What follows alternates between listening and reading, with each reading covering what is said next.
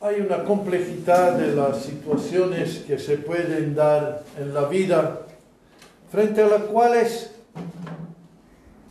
pueden eh, quedar eh, confundidos los planes o las ideas que teníamos. Los apóstoles, se lo vemos en el, eh, en el detalle de Mateo, los apóstoles están dispuestos a luchar por Jesús.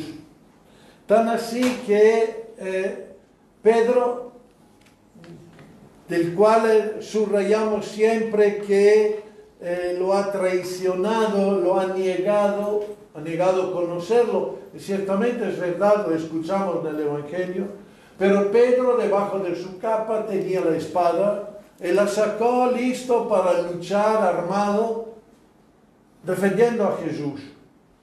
Cuando le dijo que estaba dispuesto a morir, ciertamente estaba convencido y estaba dispuesto a morir. De hecho, él sacó la espada. De hecho, él hirió al servo del sumo sacerdote. ¿Quién lo para, Pedro? Jesús.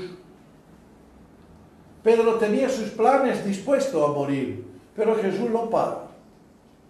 A esta altura Pedro ciertamente queda confundido, no entiende. Si eh, Jesús le ha pedido estar de su lado, Él se ha preparado para eso y está dispuesto a luchar, entonces ¿por qué justo Él lo tiene que parar? ¿Quiere que luchemos por Él o que no luchemos por Él? Creo que estas preguntas pasaron en el corazón de Pedro y después de esto no se ha escapado. Lo ha seguido a distancia, pero podemos imaginar la tormenta que se desató en su corazón. Y al final cuando Pedro dirá, no lo conozco, está diciendo una verdad. No lo conozco. Podría haber decidido, mejor sí sé quién es de persona, pero no lo entiendo. No lo entiendo. No lo entiendo porque ha dicho de luchar por Él y justo me para cuando estoy luchando por Él. Cuando la vida no responde a nuestros pensamientos, muchas veces culpamos a Dios. Es culpa de Dios. Cuando hay el mal y no logramos eh, asumirlo, al final, ¿cuántas veces culpabilizamos a Dios? Si no podemos culpabilizarlo del mal, por lo menos, como el ladrón que definimos malo, le decimos que es culpa suya porque pudiendo evitar el mal no lo está evitando. Pudiendo hacer el milagro no lo está haciendo. Entonces no es la causa del, del mal, pero es culpa suya que el mal persista. Cuánta confusión. Hasta la misma gente que lo acoge festoso, en, eh, festante en Jerusalén. Sabemos que la gente que vino de Galilea. Pero esta gente, pocos días después, no estará gritando Osana, no defenderá a Jesús. Y claro, movido por los sumos sacerdotes, la gente de Jerusalén gritará que quieren, prefieren Barabas ciertas autoridades, qué capacidad tienen de manosear la gente, a la gente, qué capacidad tienen ciertos de confundir a los demás y de llevarlos a pensar que un mal puede ser un bien, un bien puede ser un mal. Solo un corazón sencillo o un corazón profundo pueden quedarse firmes reconociendo el bien.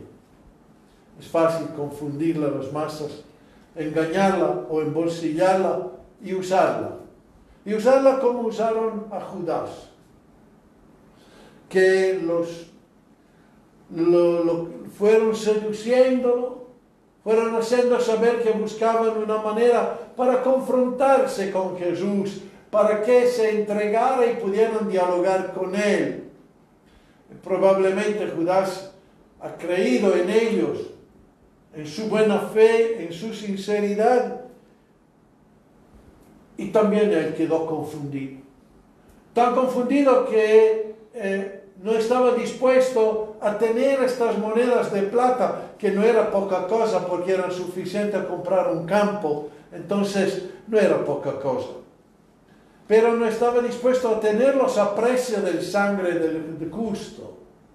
Ha creído en los sumos sacerdotes que querían confrontarse con Jesús y Él lo ha entregado para que se confronte. Y Él ha entregado su buena fe a personas equivocadas que después lo abandonan, que después eh, lo dejan solo y hasta tratan con desprecio las mismas monedas que Él le tirará en la cara y le devolverá, habiéndose sentido engañado por ellos. Y queda confundido. Así que correrá y Judas se va a ahorcar. En la confusión toma una decisión claramente equivocada. En la confusión, la gente que en el día de Ramos exalta, alaba a Jesús y dice, bendito el que viene, unos días después callarán. Puede que no hayan sido ellos a gritar Barabás, Mateo da a entender que ha sido la gente de Jerusalén, pero ellos no han hecho un contracoro, no se han hecho sentir que no estaban de acuerdo. Han callado. Han quedado en silencio probablemente, han quedado confundidos. También porque no entienden por qué no estaban luchando a alguien por él, ni los doce que eran con Jesús no estaban luchando. Han quedado confundidos también ellos. Y Pedro, dispuesto a luchar, ha dicho, yo a este tal no lo conozco. Ha quedado confundido. Pensaba conocerlo, ya no lo entiende. Frente a todo esto hay una realidad mucho más profunda, un sentido mucho más profundo y totalmente más grande. Esta muerte de Jesús es la muerte del justo que se entrega y rechaza eh, el poder. Alguien de los estudiosos dice, esta entrada de Jerusalén no será un poco como explicaba el Evangelio de Mateo al comienzo, cuando eh, se le dice, si te prostras a adorarme, yo te daré todo, todos los reinos de este mundo. Y Jesús ha sentido la tentación de hacer de esta entrada triunfal en Jerusalén el comienzo de una adoración del diablo para tenerse los reinos. Es evidente que Jesús no ha tenido esto y son los sencillos y pequeños que después quedarán confundidos, que gritan eh, eh, en este momento, bendito el que viene. Y Jesús no utiliza esto para, para sentarse en el poder o confrontarse en manera directa con un poder. ¿Por qué? Porque el camino que estaba tomando, un camino difícil, imposible, un camino de confrontación con el sufrimiento y con la muerte, por amor a estas personas que quedaron confundidas, es el camino que Jesús ha elegido.